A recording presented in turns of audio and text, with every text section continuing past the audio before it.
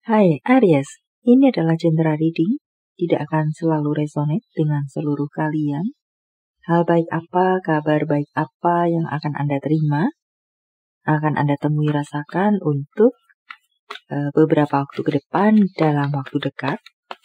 Walau demikian, ini bersifat timeless. Baiklah, mari kita mulai.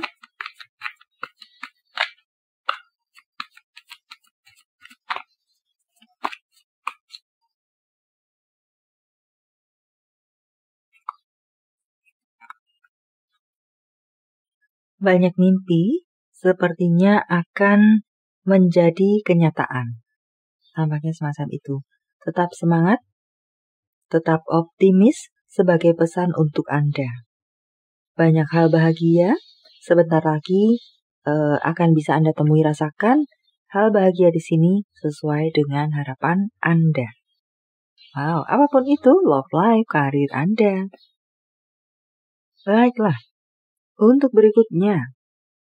So, ini adalah waktunya untuk Anda move on. Uh, maka dengan demikian, akan ada perubahan besar bisa terjadi dalam kehidupan Anda. Move on kah? Berpindah kah? Semacam itu yang dimaksudkan. So, saya rasa ini lebih menjadi pesan atau gambaran jalan untuk Anda. Ya, dengan berpindahnya Anda, dengan move on-nya Anda, akan terbuka jalan lain bagi Anda, akan bertemu dengan situasi berbeda, lain dari yang sekarang, di mana itu membuat perubahan yang cukup besar dalam hidup Anda. Uh, dan perubahan di sini adalah perubahan yang positif. Semacam itu. Baiklah. Kelimpahan di sini waktunya bagi Anda untuk take action, melakukan sesuatu, bertindak, semakin mengembangkan kreativitas Anda, pesan untuk Anda. Dan uh, sebagai kabar baik untuk Anda, Anda akan bertemu dengan kesuksesan, kelimpahan, semacam itu. Wow, banyak dari Anda mungkin sampai pada goal Anda kah? Oh, congratulations.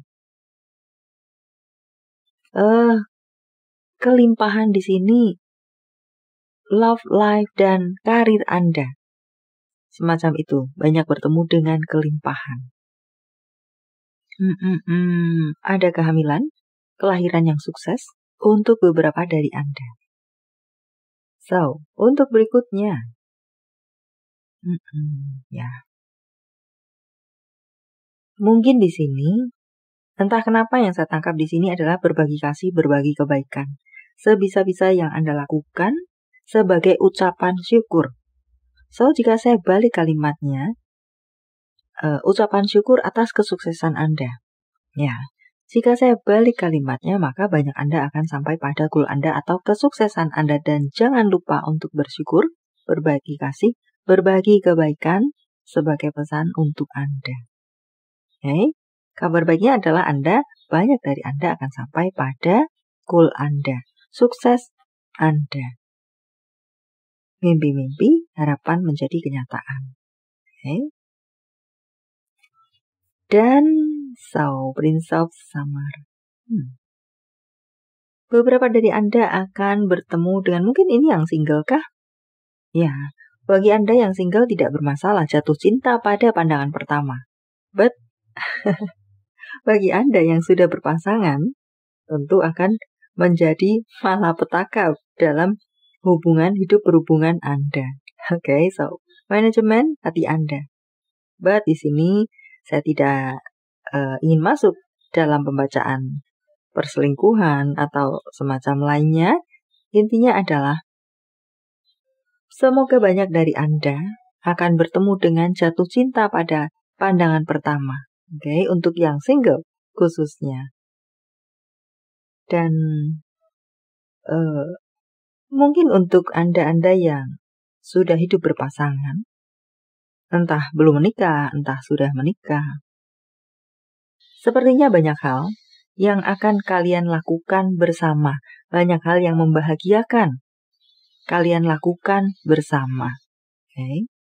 Di luar dari perselingkuhan. Atau mungkin bisa juga jika saya ingin sedikit meluaskan, mungkin ada yang sudah berpasangan kemudian uh, bertemu dengan cinta pada pandangan pertama, terjadi perselingkuhan dan mungkinkah uh, melakukan hal yang bahagia, entah siapa di sini melakukan hal bahagia bersama orang ketiganya, itu adalah hidup berpasangan yang baru.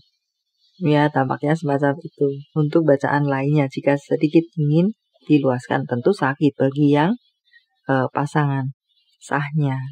Oke, okay, so manajemen hati untuk kalian yang sudah hidup berpasangan. Menghadapi jatuh cinta pada pandangan pertama. Ya, mungkin sebagai pesan untuk Anda. Baiklah. Sampai di sini dulu semoga bermanfaat. Thank you for watching. See you.